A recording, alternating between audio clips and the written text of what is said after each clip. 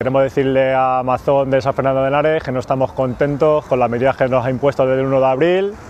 Tuvimos una huelga de dos días en marzo y este mes vamos a tener una huelga de tres días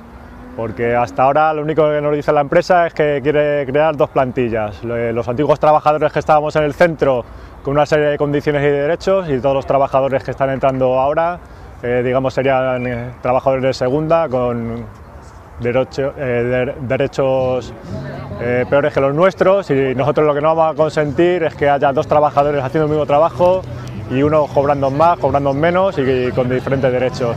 Hemos iniciado el primero de tres días de huelga para decirles que no estamos conformes, que no queremos las medidas que nos están imponiendo de forma unilateral y que si no es ahora vamos a seguir luchando para conseguir todo lo que consideramos que es nuestro, todos nuestros derechos adquiridos que manteníamos anteriormente